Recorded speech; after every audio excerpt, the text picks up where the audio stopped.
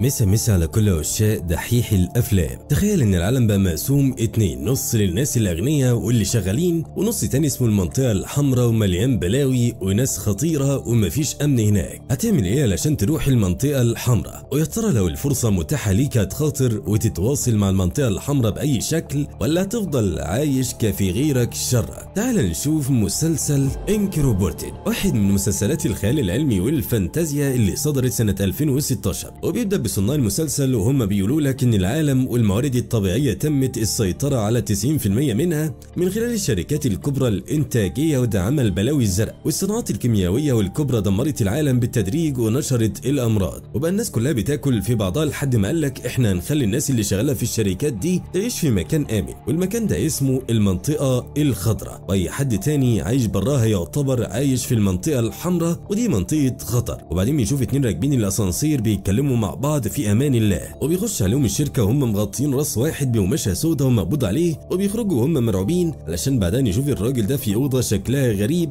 وباين عليه خايف وبيخش ظابط وبيقول له أهلا بيه أنا عمري ما كنت مبسوط باللي بعمله بس للأسف لازم أعمله علشان أعيش. وبيمسك مشرط من أدوات مرمية قدامه وبعدين بنشوف بيت متطور شبه اللي بيطلعوا في الإعلانات بتاعة الكومباوندات النصابة. وفي زوجة ومدبرة منزل وبعدين بين صاحب البيت بيقوم من النوم. وبيجي يصبح على مراته في صباح روتيني هادي نشكر عليه ربنا وبيقعدوا يهزروا شوية والأخبار شغالة وهو عامل mute. لحد ما بيشوفوا حريق ضخم في مبنى من شركات سيبيجا ودي الشركة اللي شغال فيها. وبيقول الذكاء الاصطناعي يعلي الصوت شوية وبيعرفوا إن حصل عملية إرهابية في المكان ده. وفي ناس بتقول إن إنزاجي زعيم المقاومة والإرهابيين هو اللي عملها وناس تانية بتقول لا مش هو. وبعدين بيقرر بين يروح شغله ويفكه من الأخبار وبعد ما بيروح بيركب عربيته وبيقول لها تروح بيها الشغل وبنعرف إنهم في سنة 2073 على أساس إن ده بعيد يعني أو هيبقى فيه أي حاجة من دي. وبيشغل الأخبار وبعدين بنشوف الطريق جميل لكن لما المخرج بيبعد بنعرف إن المكان ده مخصص ليهم لكن حقيقه العالم حواليهم قبيح. وبلان تلوث وانهم متحاصرين داخل الاسوار دي. بس بيقنعوا نفسهم إنهم محميين مش متحاصرين. وبيوصل بين شغله وبيقف مع زمايله يتناقشوا ويخمنوا مين اللي هيكون السبب في التفجير بتاع الإرهابيين ده. وفي وسط ما هم واقفين بيلاقوا الإنذار اشتغل والأمن بيقرب من الموظف اللي شنطته لونها أحمر. وبيطلبوا منه يرفع إيده ويهدى وبيديهم الشنطه وهو عرقان وقلت بقى خلاص هتنفجر. علشان بعدها يفتحها الظابط وهيشغل اللي جواها ولها شوية أفلام إباحية ممنوع مش متفجرات ولا حاجة. والراجل بيكون في نص هدومه وزمايله في الشركة كلهم شايفينه وهو كده. بعدين اللي بينه هو في شغله بيتكلم مع الظابط اللي كان موجود من كام دقيقة ومع المدير بتاعه. وبيشرح لهم المشروع بتاعه بيقول لهم إن الطاقية دي هتساعدهم يعرفوا الشخص بيفكر في إيه بالظبط. وحتى لو الشخص كان بيكذب فمش هيعرف يكذب وهو نايم أكيد وبيحلم أو بيفكر صح. قالوا له لا طبعا وده مصلحة. قال لهم حلو ونسبته كام على كده. قالوا له 65% قال لهم يا نهار أزرق يعني عايزيني أمسك الناس اقتلهم واطلع عين أهاليهم. اعتمادا على نسبة 65% وهم نايمين. قالوا له لا يا صاحبي 65% ده وهم صاحيين. لكن لما يناموا نسبة دقة المشروع ده بتوصل ل 55% قال لهم أنتوا أكيد مجانين أنا مش ممكن أعتمد على ده. قالوا له ماشي إحنا عامة هنحاول نعليه. أنت فاهم إنه حساس جدا. ومشي وسابهم. وبعدين مين بيقول للمدير بتاعه ما تحنكشهاش؟ قال له يعني إيه؟ قال له يعني الدقة هتزيد ل 75% عادي بس ما تتكلمش على لساني ولا توعد حد بحاجة. خاصة الراجل ده لأننا هنوصل للنسبة دي في خلال ست شهور ومش قبل ست شهور فحافظ على كلامك معاه قوي وخليك صريح معاه 100% قال له ماشي خلاص وبعدين بنشوف اتنين شحوطه جارين واحد معاهم وبياخدوه يدخلوه عند راجل بياكل طماطم بالشوكة والسكينة. ما تفهمش إيه الممتع أو اللي تجيت في كده بس هو مبسوط فتمام. وبعدين بيقول لهم خير قالوا له بص يا ريس مسكناه ومعاه إيه؟ وبيقوم الراجل وياخد منه الصندوق وبيقول له إيه الحلاوة دي؟ ده تبغ وتبغي حقيقي كمان في المنطقة الحمراء وصلت له إزاي بقى؟ أصل ده غالي ونادر ومش من هنا. قال له يهمك في إيه؟ قال له لا يهمني كتير. لما تكون بتعرف توصل حاجات لهنا فده معناه إنك ليك حد يساعدك. أتناطحني في السوق مرة في مرة وإحنا مش في الشارع. كل منطقة وليها الكبير بتاعها يا حبيبي. أنا مش هقدر أسيبك طبعا فهنقطع لك صباع صغير بس للذكرى وعلشان الناس تلم نفسها. فيا ريت ما تاخدهاش بشكل شخصي ويتقدر إن ده لزوم الشغل. وقبل ما يقطعوا له صباعه بيقول له ثواني هو أنت ضربت الاتنين دول كده؟ قال له أيوه يا عم أنا اللي ضاربهم ليه هتقطعوا؟ إيه كمان؟ قال له لا مش هنقطع حاجة. قوم وريني إنك ضربتهم. وبيخرجهم كلهم بره الأوضة. بيبدأ الشاب يضرب الاتنين اللي كانوا ماسكينه ويسد قدامهم. وبعديها بيبص له الراجل ويقول له عاش قوي ده أنا هستخدمك في حاجة أحسن ما اقطع إيدك. وبعدين بنشوف بين في الشركة وهو بيهدي الإضاءة بتاعه الشباك بتاعه بعد ما بيسلم على صاحبه اللي باصص له. وبيبدا يركب جهاز ويطلع صورة البنت كان عارفها زمان. وبعد ما بيحطها على الجهاز بيفضل الجهاز يدور على البنت في كل حتة. الزبده والجهاز بيلاقيها وبيلاقي ان نسبة التشابه بين اللي طلعها والصورة 73% ده دي أول مرة يطلعها وبيتصدم بين وبيفرح في نفس الوقت علشان لها اللي بيدور عليها. وبعدين بنشوف مرات بين وهي بتقول له ما بدري يا عم قال لها والله غصب عني كان في اجتماعات وبعدين بتقعد معاه وتقول له أنا نفسي أبقى زيك كده دايما منور ومش فارق معاك حاجة كده. قال لها ده صعب خلي بالك برضه المهم انت خليتينا ندفع الشيء الفلاني هنا ليه؟ قالت له عندي خبر هيعجبك قوي قال لها خير قالت له جالي تصريح النهارده قال لها ليه ناوية تفتحي كشك ولا إيه قالت له كشك إيه تصريح من الحكومة إننا نخلف. قال أنا فرحانه قوي بالخبر ده بس مش إحنا قلنا إننا هنأجل الخطوة دي. قالت له ليه؟ قال لها عادي نأجلها لحد ما ترقى للدور ال 40 مثلا. قالت له يا عم ده خير وجاي لنا هنرفصه قال لها لا يا ستي. وبعدين بنشوف واحدة بتتكلم مع سيناتور أمريكي وبيحاول يقول ان المخلفات اللي بيعملها دي عادي. قالت له أيوه ده عادي بس زمان مش دلوقتي. الناس دلوقتي واعية وبتراقب والاجهزه بقت مركزة علشان الفاسدين. قال له عقبال عندك أو ما بقاش في غيرهم اللي عايشين فمش هيسمحوا إن في حد يفسد عليهم وبعدين بيكون بين دخل وقاعد بيتفرج على اللوحة اللي في المكتب لحد ما الست تخلص وأول ما بتخلص بتقرب جنبه وبتقول له فنان عظيم. بس للأسف قتل نفسه بعد سنة. يفتكر إنه لو كان بطل تعالي وباع اللوحة كان هيبقى حاله أحسن. قال لها مش عارف قالت له توقع إنه كان هيبقى راجل سعيد. جايز ما يبقاش فنان عظيم بس راجل سعيد. عامة أنا شايفه إن فقره والمه هم اللي وصلوه إنه بقى موجود بعد ما مات بأكتر من مئات السنين. المهم يعني علشان المخرج قال لي يا خلص أنت جاي ليه؟ قال لي أنا جاي أصلح الدنيا بينك وبين مراتي. وبنعرف إن الست دي حماته وإنها شخصية مهمة في البلد. وبتقول له أنا بحاول معاه بس أنت عارف إنها مش راضية. قال لها أنا هحاول تاني بس مش هينفع نفضل كده أنت عارفة. وبعدين بنشوف لورا مراته وهي في عيادتها وبنعرف إنها دكتورة تجميل ومعاها زبونة جاية تعمل عملية لواحد معاها. وبتقول له دلوقتي أنت هتبقى زي الراجل ده أنت عارف ده؟ قال لها آه ولاحظت إن كلامه غريب كده ومش منطقي. وبعدين الست بتشدها وبتقول لها في إيه يا دكتورة؟ قالت لها هو في حاجة أنا محتاجه أعرفها؟ قالت لها لا وكمان هو عارف كل حاجة اهبطي أنت بس. وغير كده أنا هعيشه هنا عيشه عمره ما كان هيحلم بيها في المنطقة الحمراء. وبنعرف إن الست دي هتاخد الراجل ده وتستغل شبابه وتحوله لحبيبها أو ابنها وتعيشه معاها. وبتخرج بعدها وتسيب لورا وبعدين بين بيكلمها يطمن عليها ويقول لها لازم تكلمي أمك. قالت له يا دي أمي يا عم قلت لك أنا مش عايز أكلمها ولا أتعامل معاها. قال لها دي جدة الطفل اللي جاي لازم تعرف علشان هو كمان مش هيبقى ليه غيرها. وبعدين بتقول له ماشي هنشوف ده بعدين. وبيقول لها إنه هيروح مع صحابه كده للمنطقة الحمراء مشوار ويجي ياخدوا شوية مشاريب. وبعدين بيقول لها أنا ما قلتش علشان عارف إنك ما بتحبيش هناك. قالت له لا يا عم براحتك عادي أنا بس قلقان عليك. قال لها عادي مش أول مرة أروح وما تخافيش أنا مش بتاع مشاكل يعني. وبعدين بتفتكر ذكريات متوحشة وفي الغالب حصل لها حاجة هناك واتضرت. ولما افتكرت قطعت شرايينها تاني ما نعرفش ليه ممكن من الصدمة أو الذكرى. ورشت عليها بعدها سبراي طبي حديثه خفت في ثواني تقريبا وبعدين خرجت علشان تقابل زبون جديد جه. وبعدين بنشوف بين مع صاحبه الأشقر وهم متحمسين للرحلة دي. وصاحبه بيقول له أنت بتهزر أنت عزمت مديرك ده راجل إتم ومش صاحبنا أصلا. قال له يا عم مشي الدنيا في إيه؟ الناس كلها عايزة تتبسط مش أنت بس. وبعدين بيروحوا للمنطقة الحمراء وبيكون مكان كله ناس غريبة وبيعملوا أي نشاط محرم أو غلط. وبعدين العربية بتقف وبينزلوا منها وبيديها للسايس وبيدخلوا المكان بس صاحب بين بيقول لهم خمسة وجاي لكم وبيخشوا يتقسموا مجموعتين ويقعدوا يشربوا بيرة حد جابها لهم. وبعدها على طول صاحب بين بيجي ويقول لهم علشان ما تقولوليش إني ما عملتش معاكم أي واجب جبت لكم حبوب هلوسة وبخاخات مخدرات يلا في صحتكم وكلهم شربوها ما عدا بين اللي مثل إنه بيشربها وفضل مراقب الأجواء والخناقات والرهانات اللي بتتعمل على المصارعين في القفص. اول ما خلصوا بدأ كلهم يسكروا بس هو لسه فايق لحد ما المدير بتاعه بدأ يتعب راح شده على الحمام ودخل معاه وقفل عليهم. ولما المدير بدأ يرجع بنقرب منه وطلع حاجة من جيبه وجي يحطها على فاه معرفش وجي يجرب تاني بس كان في حد بيخبط وبيستعجلهم. وبعدين بيستخدم بين الحاجة اللي وقعت منه على الأرض وبتحرق الشاد المدير جامد وبيقول له إيه ده؟ قال له مفيش حاجة أنت بس فوق معايا أهم حاجة. وبعدين بيخرجوا الواد اللي واقف بره بيقول لهم والله عال أنتوا كنتوا بتعملوا إيه جوه بقى؟ بتعملوا سباق عجل؟ قال له امشي يلا وسيبنا في حالنا وكان ساند مديره لبره بس الواد مسكه وشده جامد وقال له أنت كنت معايا بتعملوا إيه بالظبط؟ مش هسيبك إلا لما أعرف. راح بين ماسكه وضربه وكاسر بدماغه الحوض وسابه غرقان في دمه. بعدين الشاب بيقول له هو أنت مين؟ قال له أنا صاحبك بين هيكون مين يعني يا عم؟ المهم أنت تقدر ترجع لوحدك؟ قال له آه عادي. قال له ماشي أنا هروح أجيب سجاير وجاي لك وبيخرج بره المبنى خالص ويمشي في المنطقة الحمراء وهو مش خايف. وبعدين بيروح مبنى وبيوقفوه وبيقول له يا مرحب باللي جاي من المنطقة الخضراء. قال لهم بس بس فككم من الجو ده. خد الفلوس دي دي أول حاجة. وغير كده شايف الدم ده مش دمي. فأنا واد لبش ومش من هنا. قال له ماشي عدي ويسيبوه يا رجالة. وبيركب موتوسيكل من اللي بيوصله لفوق وبيقول له يوديه الدور ال 18 علشان نلاقيه رايح للواد اللي كان بيتاجر في التبغ. وبيقول له إيه اللي في وشك ده؟ يا ابني مش جبت لك سجاير حقيقية وقلت لك تتاجر فيها؟ قال له أنت فاكر فاكر إن دي حاجة سهلة أو فاكر إن دي حاجة ممكن تعدي من غير ما حد يشمها مسكوني في واحد مسكني علشان يهددني وخلاني أحارب في القفص وأتضرب.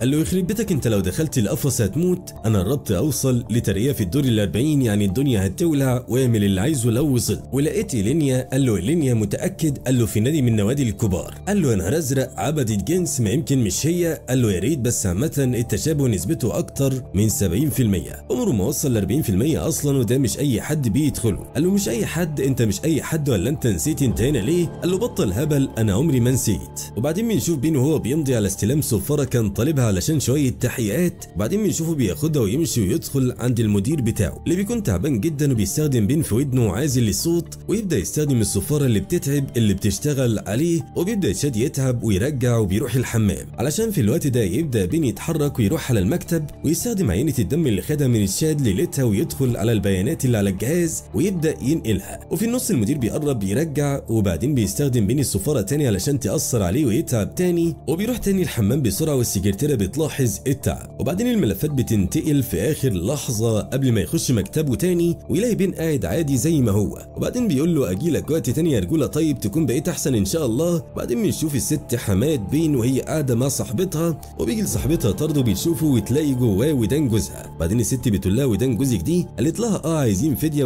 واتاخد في المنطقة الحمراء. بس عامة أنا هسيبه يتربى شوية وبعدين أدفع وأجيبه. وبيقعدوا يضحكوا لحد ما بتيجي بنتها وبتقول لها إنها تبقى حامل عايزاها تعملها عادي مش كأنها مهمة وهي عيلها صغيرة. قالت لها أنا آخر مرة اتعاملت معاكي على أساس إنك كبيرة جات لي حتة منك مقطوعة في علبة بالبريد كده. قالت لها أنت برضه مصممة تفكريني. أنت عمرك ما هتتغيري وسابتها ومشيت. وبعدين بنشوف بين وهو ماشي من الطريق بتاع الشركة للبيت وهم بيتفتشوا بيلاقوا مع الشاط حاجة ممنوعة وبيتقبض عليه وعمال يصرخ يقول لهم إنه ما عملش حاجة. وبعدين بيروح بين وهو منهار وبيقول لمراته إنه مش مصدق إيه اللي حصل. ومراته بتقول له مش مهم هو مش من بقيه أهلنا ما تبقاش حامل هم كل حاجة كده. وبعدين بنشوف المديرة اللي هي حماد بين وهي بتقول إنه خاين واتقبض عليه وفي كذا مكان في الدور ال 40 في مدير جديد. بس المرة دي هنفتش كويس عن المدير الجديد واللي ما عندوش حاجة يخاف منها هو اللي هيدخل وياخده مش هنسمح بوجود خاين تاني. بعدين بنشوف صاحب بين وبين وهم واقفين بيتفرجوا ومبسوطين من الفرصة وبين قلقان من اللي حصل لحد يكتشفه وحاسس بذنب بسيط. وبعدين بنشوف سيو اللي كان بين بيكلمه وهو موجود في قصر من القصور الضخمة اللي عرفوا إن إيلينيا فيه وهو داخل يعمل ماتش مصارعة جوة. وبنشوف الظابط وهو بيجهز علشان يعذب تشاد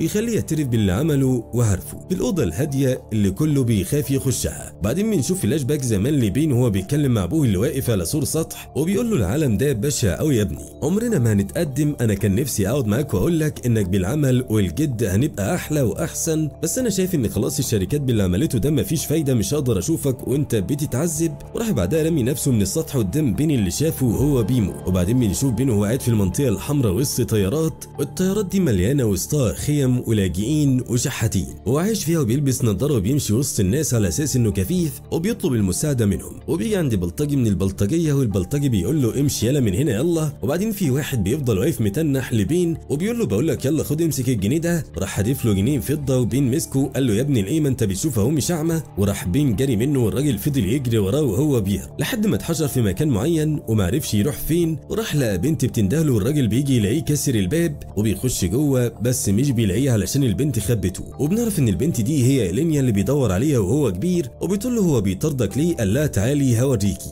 راح حاطط النضارة على عينه وواقف قدام الجهاز بتاع الأكل. راح منزل الاكل كتير وبيقول لها البلطجية الكبار دول بياخدوا أكل كتير قوي بوشهم والنضارة دي بتساعدني أعمل كده. وبعدين بنشوف الضابط في مكتب حمام بين وهو بيقول لها إنه محتاج وقت. أنا مش ساحر علشان أعرف الخيانة دي إيه سببها وإيه تفاصيلها محتاج وقت. وبعدين أنت بين قريبك ده مترشح لمنصب المدير وشغال في نفس الوحدة اللي فيها تشاد. أكيد في حاجة ممكن تطوله. قالت له ولا قريبي ولا نسيبي. اعمل اللي أنت المفروض تعمله علشان توصل للخونة وللحية. وبعدين بنشوف بعدها بين قاعد في مكتبه معاه القطعة اللي مخليه يدور على إيلينيا. وبعدها بنشوفه بيستخدمها علشان يدور على تشاد وبيشوف هو بيعمل إيه. وبيلاقيه بيتعذب في الأوضة وبيقول لهم أنا ماليش دعوة بأي حاجة أنا مظلوم والله.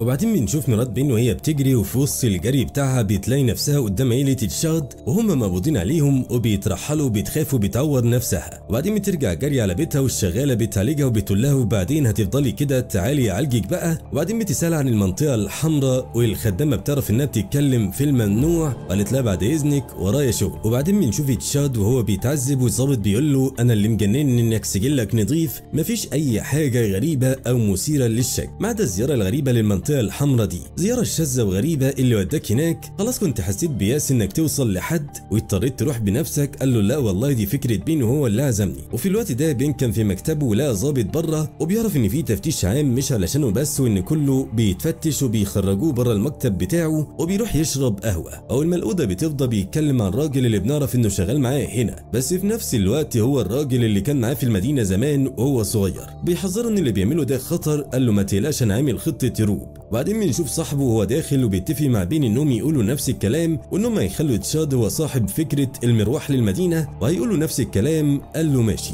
وأنا اللي فاكرك سالي طلعت مجرم قال له ما لازم نحافظ على نفسنا يا عم ده خاين وبعدين الظابط بيجي يحقق مع بينه بيقول له إيه يا عم شفت ملفك وتحسك شبح كده يعني؟ لا ليك أهل ولا عيلة ولا أصحاب والتعليمه كناشه بتاعتك معتمة خالص. يعني حتى لو عاوزنا نتأكد من حاجة فيها مش هنعرف. قال له آه يرزق من يشاء بقى. وبعدين يا عم أنت هتمثل ما أنت قاري السكريبت بتاع المسلسل وعارف إني مش من هنا والجاسوس قال له أيوه صح طب قول لي بقى إيه اللي خلاك تروح المنطقة الحمراء دي؟ قال له دي كانت فكرة الشات بصراحة. قال له يا راجل. قال له أيوه واسأل الزملاء يعني هي مرة وترفيه كده لينا مش حاجة دايمة. وبعدين بيجي الظابط يقول له حماتك عايزاك فوق وبيجي يروح وبعدين بيلاقيهم بيفتشوا اللي بيروح هناك. وبيرجع تاني علشان يخلص من القطعة اللي في جيبه بيقول له آه يا باشا علشان أبقى خلصت ضميري بس. وراح حاطط القطعة تحت الترابيزة وقال له إنه شرب مخدرات هناك. وقال له إن ده تفريحي بس علشان ما يبقاش خبى حاجة على الحكومة يعني وبيطلع عند حماته ما بيلاقوش في جيبه أي حاجة. وبعدين بنشوف سيو وهو قاعد مع صاحبه وبيجي الراجل اللي مشغله ويقول له تعالى هنعالجك بتقنية غالية أهو علشان لازم تروح ماتش مصيري وكبير. قال له لو كسبت أقدر أروح قصور الكبار. قال له هوديك تعالى يا سيدي. وبعدين بيعالجوه وبياخدوه معاهم. وبعدها بنشوف مرات بين بتزور مرات الشات في العزل ومرات الشات بتقول لها مش هديكي حاجة خدوا مني مفتاح البيت وأنا جاية. بعدين بتقول لها مفتاح بيت إيه؟ قالت لها مش أنت جاية علشان البيت وجوزك جاي علشان الوظيفة بتاعت جوزي قالت لها أنا جاية أساعدك قالت لها آه ما أنا عارفة.